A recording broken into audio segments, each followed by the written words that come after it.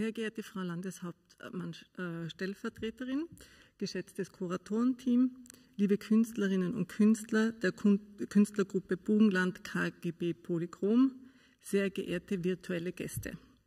Ein Jahr Corona hält uns bis dato in Schach. Unsere Türen in dem Kulturbereich sind immer wieder auf und zugegangen.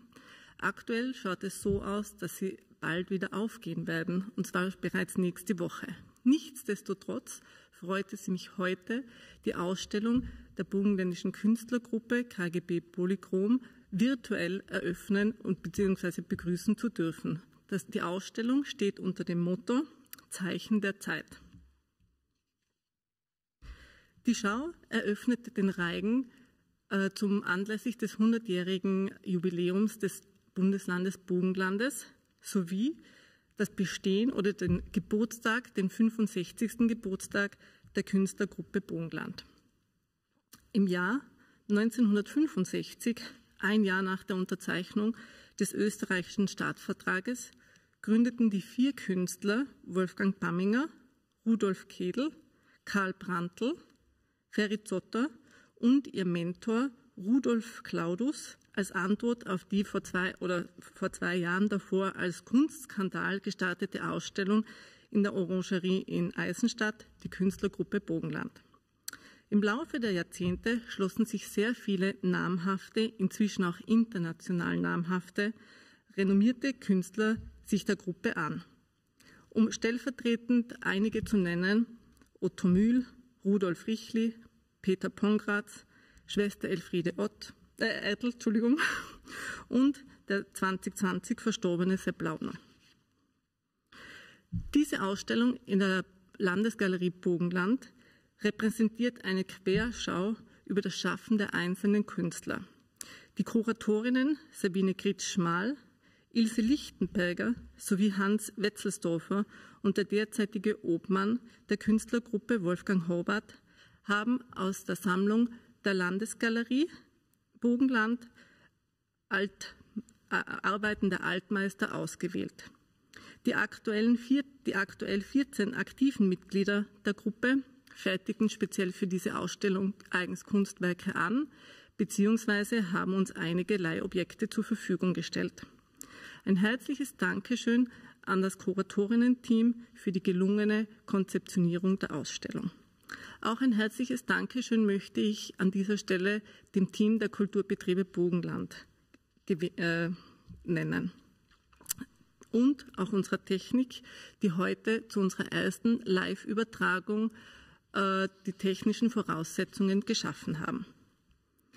Musikalisch wird die Ausstellungseröffnung, diese virtuelle, von dem jungen Pianisten Gabriel Trittremel, eine große burgenländische Nachwuchshoffnung der Klasse aus der Klasse von Professor Stanislav Tichnow des Josef Haydn Konservatoriums begrüßen. Er wird Klavierstücke von Beethoven und Tschaikowski zur Eröffnung spielen. Nun darf ich das Wort weiter übergeben an Herrn Wolfgang Hobbart.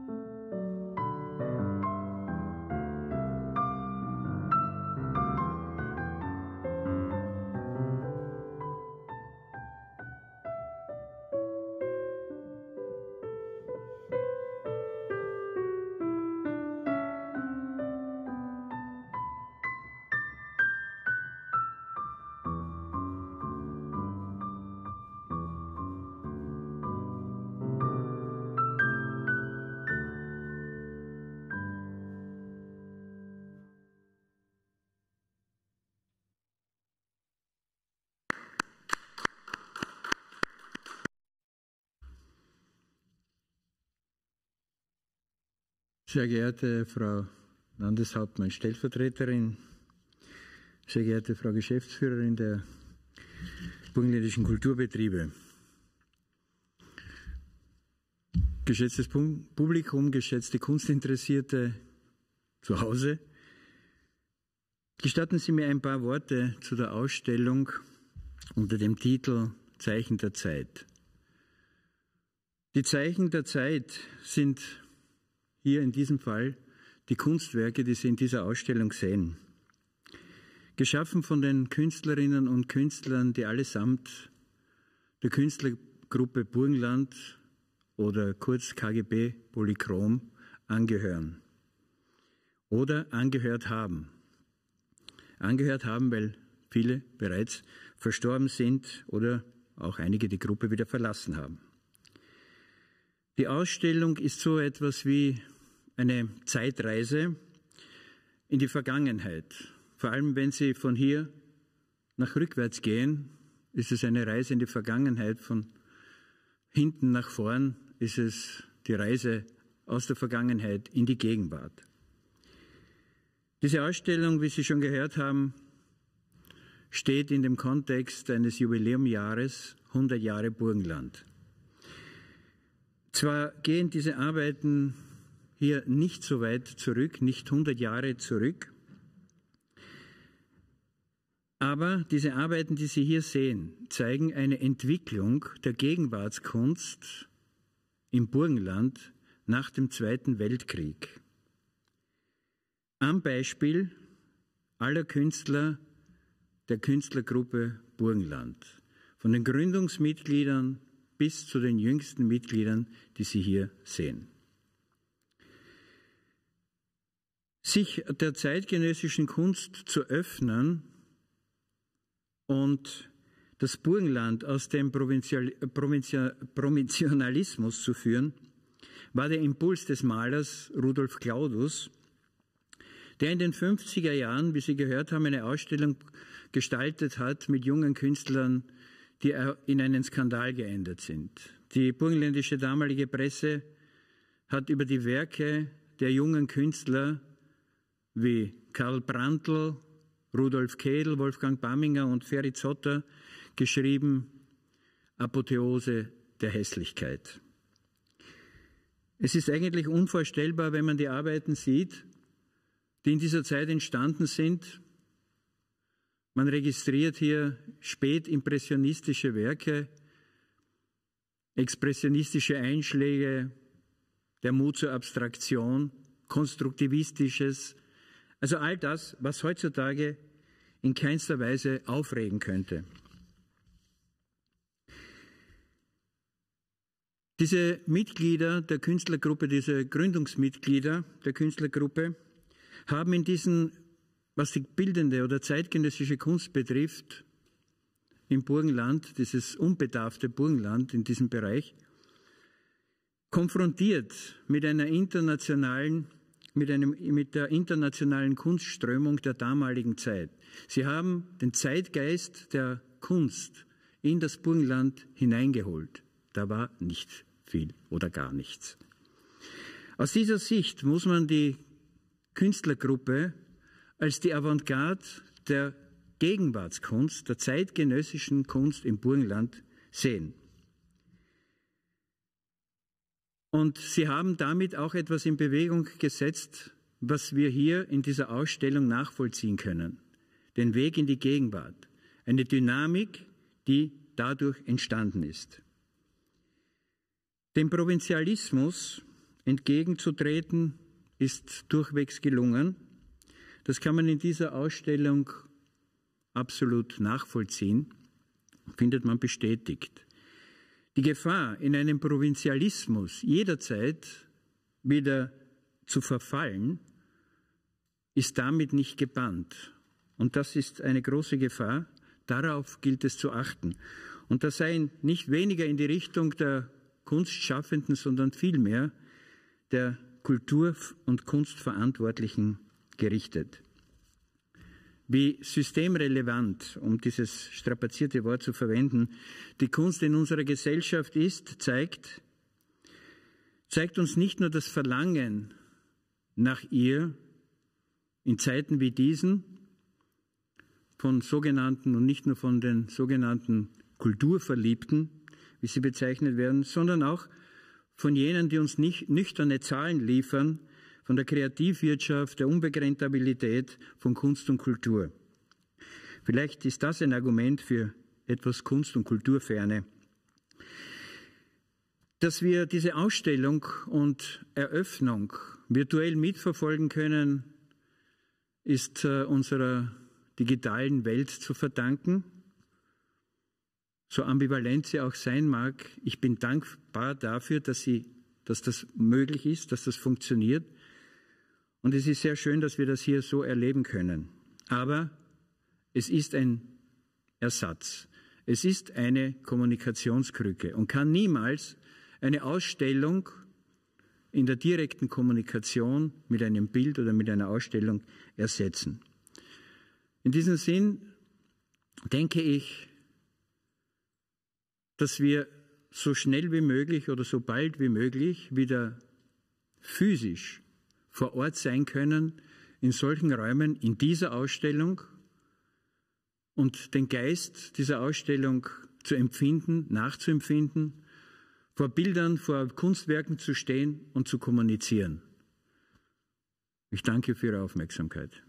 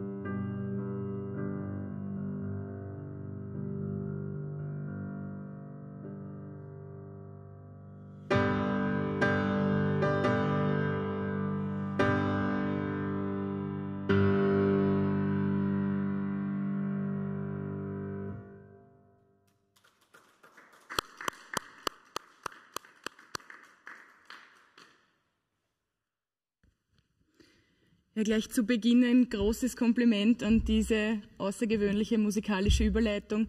Herzlichen Dank. Es freut mich immer sehr zu sehen, was für großartige junge musikalische Talente wir auch im Burgenland haben. Ich glaube, einen schöneren Einstieg kann man sich gar nicht wünschen. Sehr geehrte Frau Geschäftsführerin, Herr Kurator, werte Zuseherinnen und Zuseher, natürlich auch werte Kunstschaffende.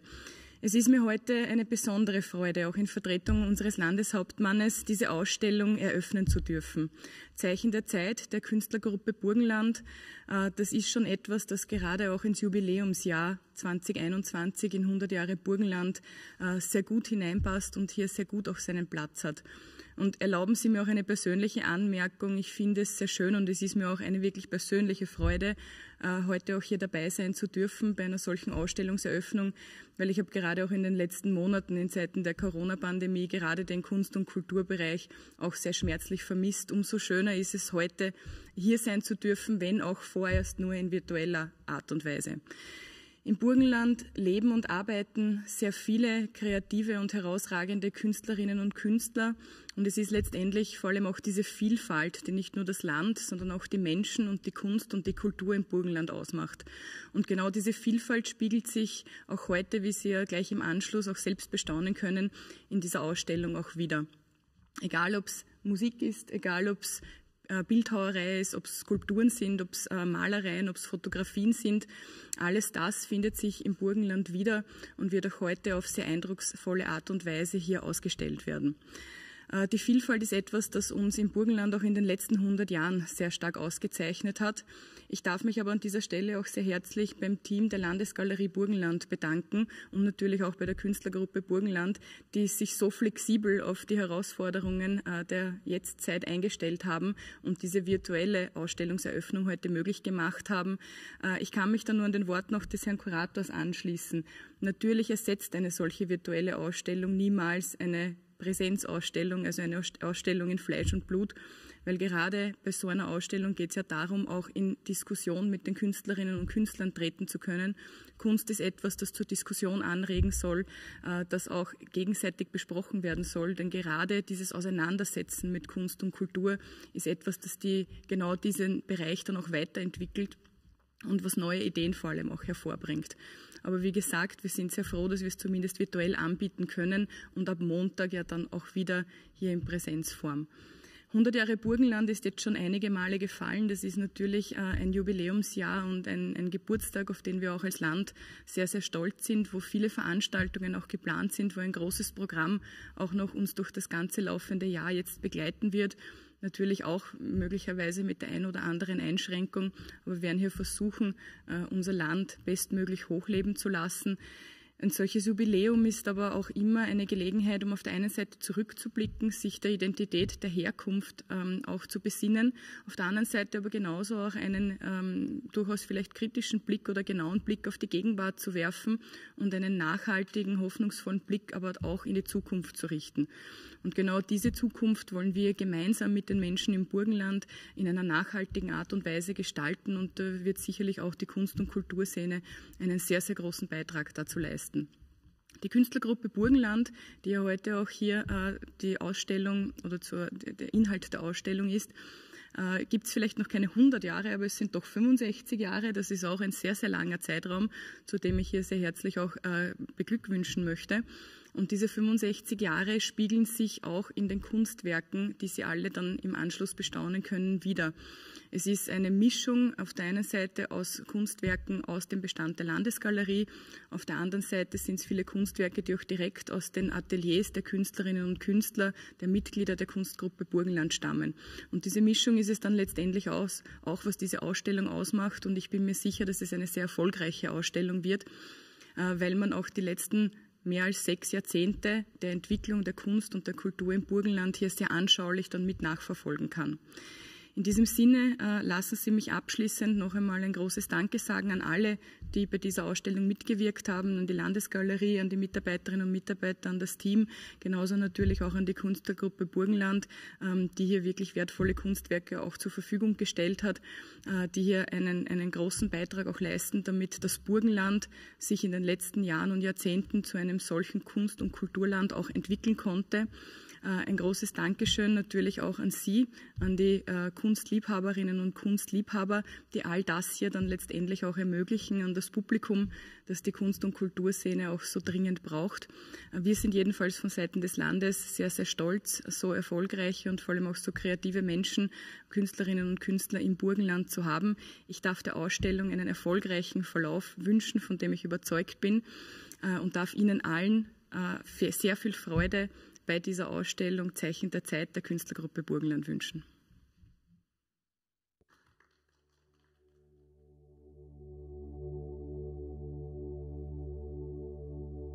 Mein Name ist Michaela Putz und ich freue mich, meine Serie Lethe im Rahmen dieser Ausstellung zeigen zu können. Für meine Arbeiten greife ich immer wieder auf mein privates Bildarchiv zurück. Mich interessiert beim Durchforsten dieses Archivs vor allem die Frage, wie sich der Prozess des Erinnerns durch die Nutzung von Smartphone, Digitalkamera und Computer verändert hat. Erinnern heißt mittlerweile zum Großteil, Bilder auf dem Screen abzurufen. Die Arbeiten aus der Serie Lethe sind digital konstruierte Objekte aus solchen fotografischen Erinnerungen. Fragmente ähm, von Fotografien aus meiner eigenen Vergangenheit, wie Porzellanfiguren, Glasobjekte und so werden hier zu neuen Objekten umgebaut. Hierbei geht es mir um die Fluidität des Erinnerns, die Diskrepanz zwischen dem digitalen Bilderarchiv und dem gefühlt Erinnerten. Durch digitale Eingriffe werden die Bilder zu reliquienartigen Artefakten einer Vergangenheit, die so vielleicht nie existiert hat.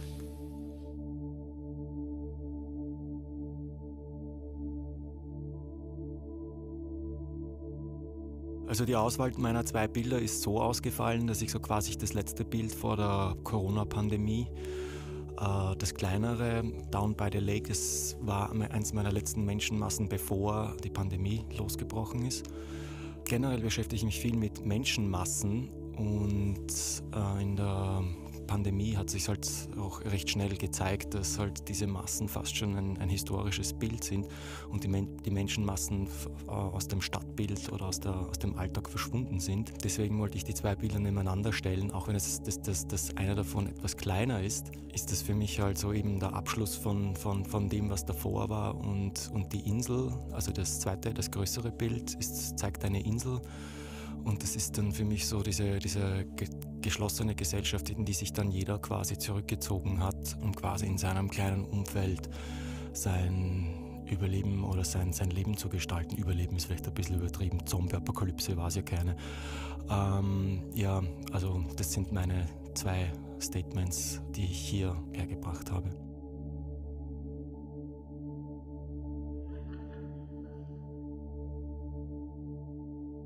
In meiner künstlerischen Arbeit in den letzten Jahren habe ich mich sehr mit dem Thema Grenzen auseinandergesetzt. Zum einen hat mich äh, irrsinnig betroffen gemacht, äh, als die Grenzsoldaten in Amerika Richtung mexikanischer Grenze gezogen sind. Und in den ersten beiden Bildern oben links äh, kommt genau diese äh, Darstellung heraus, wo eben diese Grenzsoldaten dargestellt werden in ihrer Wucht und in ihrer Abwehr, um eben Migranten aufzuhalten.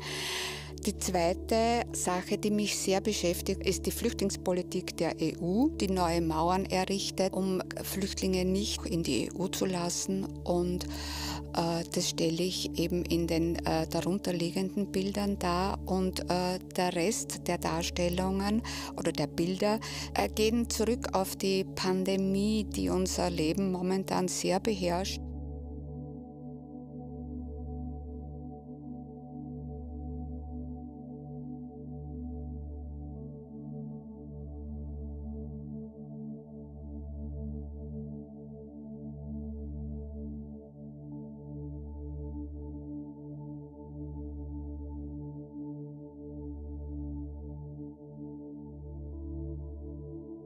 Mein Name ist Gottfried Resner. Ich komme aus dem Südburgenland, aus Klein-Petersdorf, war in meinem Hauptberuf bis zu meiner Pensionierung äh, Kunsterzieher am Bundesrealgymnasium in Oberschützen und auch immer wieder als freischaffender bildender Künstler tätig. In erster Linie bin ich Aquarellmaler und auch Grafiker. Die Bilder, die jetzt hier in der Ausstellung zu sehen sind, die das Burgenland betreffen, sind allerdings Siebdrucke zum Thema südburgenländischer Winter. Da gibt es eine Serie mit 18 verschiedenen Siebdruckmotiven, je vier Farben in einer Auflage von 13 Stück erschienen. Und das äh, Acrylbild daneben ist ein, ein, ein Zusammenschnitt äh, von Bildern oder Motiven aus der Luft gemalt. Ich habe vor äh, etlichen Jahren mich mit einem Flieger äh, über mehrere Flüge über das Burgenland begeben, habe im Flugzeug gezeichnet, auch natürlich fotografiert und dann nach den Zeichnungen und nach den Fotografien sind Aquarelle und Acrylbilder entstanden.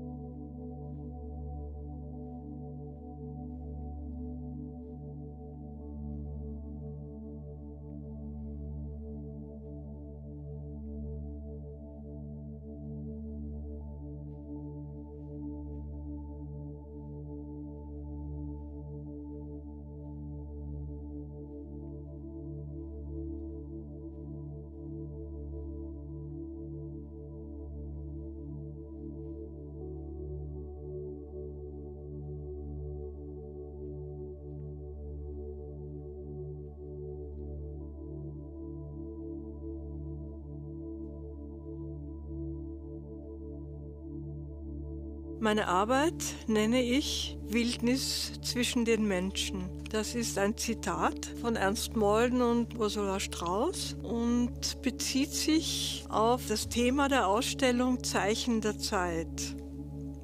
Was ist es, das für unsere Zeit charakteristisch ist, etwas über sie aussagt und sie erklärt? Es schien mir, dass die Zeit, in der wir leben, etwas Bedrohliches an sich habe das liegt nicht an, in erster Linie an der Pandemie, es liegt an der medialen Überflutung, einem von außen gesteuert Sein, das in eine Abhängigkeit führt. In Ermangelung eines menschlichen Gegenübers kommt es zu einer Art von narzisstischer Selbstbespiegelung, in der man seinen Gefühlen ungehindert und ungefiltert Ausdruck verleihen kann und durch die Möglichkeit der Verbreitung im Netz seine Machtbedürfnisse zu befriedigen imstande ist. Followers. Was zu einem exzessiven Gebrauch der Medien führt. Die berüchtigten Postings. Diesen Gedanken versuchte ich in Symbolen und deren Verknüpfung Ausdruck zu geben. Das ist der Prozess dieser Arbeit.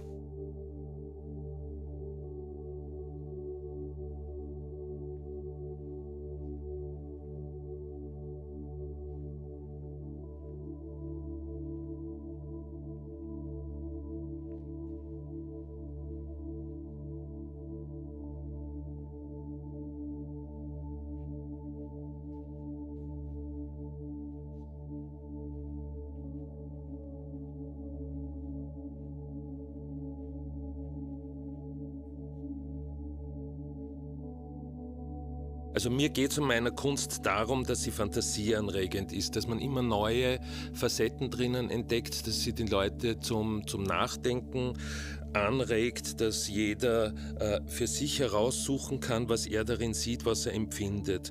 Wichtig für mich ist, dass sie einladen anzugreifen, weil sie archaisch, weil sie Lebensformen sind. Es sind für mich abstrakte Lebensformen, die ihre eigene Daseinsberechtigung haben sollen, ohne literarische Beschreibungen, die einfach für sich wie selbstverständlich in der Welt stehen sollen. Wichtig ist mir auch der Überraschungseffekt, dass man, wenn man die Arbeit von einer Seite betrachtet, dass man und um sie herum geht, dass man immer neue Facetten entdeckt, dass wenn sie, ich sage jetzt mal, auf der einen Seite breit ist und man macht eine Halbdrehung herum, plötzlich eine Spitze, eine Kante findet, wo man selber überrascht ist. Aber dennoch muss es für mich, ich sage jetzt mal, im Gleichgewicht sein, das heißt stimmig sein. Das ist das Wichtigste oder, oder einer der Hauptfaktoren in meiner Kunst.